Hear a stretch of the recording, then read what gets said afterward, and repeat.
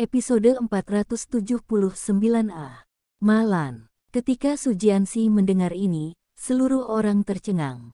Segera, dia bertanya dengan tidak percaya, Kakak Mei, maksudmu Malan yang memerintahkan kita? Dia, dia tidak tahu identitas kita yang sebenarnya. Mei Yuzen berkata dengan ekspresi serius, saya pikir kecelakaan dalam keluarga kami tidak dapat dipisahkan dari penangkapan Malan, mungkin karena dia, tetapi jika Anda meminta saya untuk menunjukkan bukti substantif, saya juga tidak dapat menerimanya, keluar.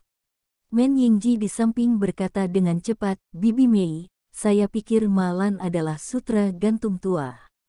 Dia tidak bisa dengan mudah dibodohi, dia pasti tidak memiliki kemampuan hebat. Sun Huina juga bergema, ya, Bibi Mei, Malan tidak terlihat seperti seseorang dengan keterampilan yang nyata. Mei Yuzen berkata dengan dingin, apakah kamu masih ingat menantunya? Ingat, Men Yingji berkata, bukankah itu anak bernama Ye, apa namanya Ye, Ye Chen?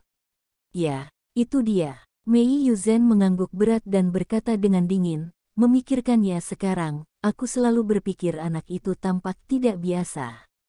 Sun Huina memiringkan kepalanya untuk berpikir sejenak, lalu berkata, Bibi Mei, selain tampan, sepertinya tidak ada yang aneh dengan anak itu, kan?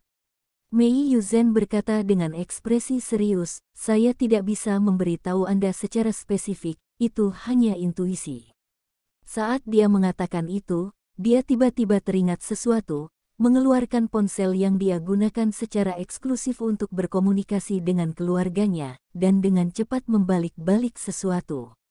Setelah melihatnya untuk waktu yang lama, Mei Yuzen berkata dengan wajah bingung, aneh, kenapa tidak ada gerakan sama sekali.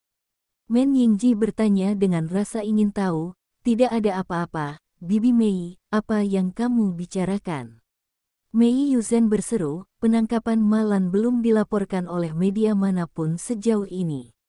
Kali ini, Malan ditemukan memiliki lebih dari 5 kg barang, yang merupakan kasus besar di mana pun ia ditempatkan, dan ada begitu banyak berita di New York.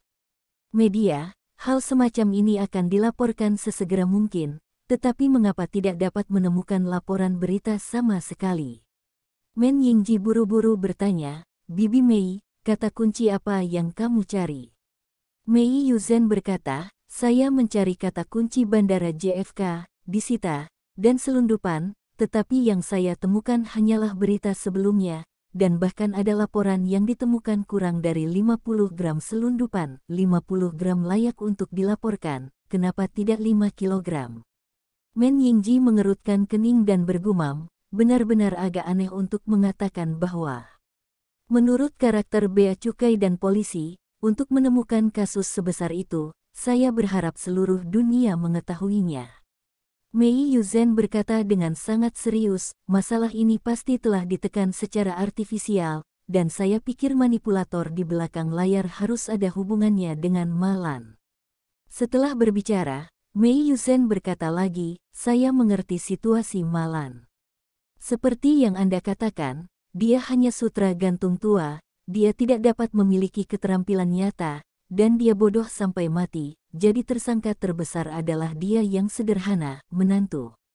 Persetan, Men Yingji menamparkan bibirnya dan berkata, haruskah kita memberitahu yang di atas dan membiarkan mereka memeriksa bocah yang bermarga Ye?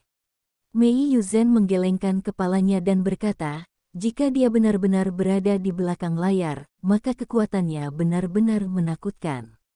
Anda harus tahu bahwa dia tidak hanya dapat menekan berita besar seperti itu di Amerika Serikat, tetapi juga membawa saya dan Lao Su masuk. China, cari tahu situasi keluarga dan laporkan ke polisi. Selain itu, ada premis yang sangat penting di sini, yaitu, dia pasti telah menguasai identitas asli saya dan Lao Su, sehingga kami dapat mengetahui anggota keluarga kami melalui identitas asli kami, dan kami dapat mengetahuinya dalam waktu yang singkat. Identitas sebenarnya dari kita berdua, energi di balik ini, mungkin jauh di luar pengetahuan kita. Men Yingji tiba, tiba teringat sesuatu pada saat ini, dan tiba-tiba berkata, itu tidak benar, Bibi Mei. Jika menantu Malan benar, benar memiliki kekuatan yang begitu kuat, maka Malan tidak dapat dibodohi oleh kita.